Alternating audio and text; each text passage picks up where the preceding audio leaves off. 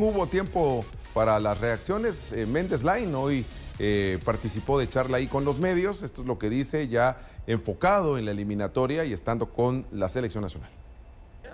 Tenemos un buen equipo, soy consciente de la buena calidad de estos muchachos, hemos entrenado muy bien y la verdad que veo muy bien al grupo. No se debería de centrar solo en un personaje, me parece que no es un deporte individual, todos los compañeros lo han hecho muy bien de momento.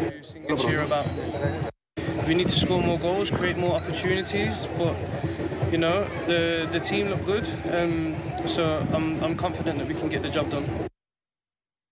Una de las cosas que también remarcaba y mucho eh, Nathaniel Méndez Line es que le ha sorprendido el calor, la temperatura y dijo no estoy acostumbrado a esta temperatura y poco a poco me he ido adaptando. Eh, era parte de lo que de lo que también decía en algún momento.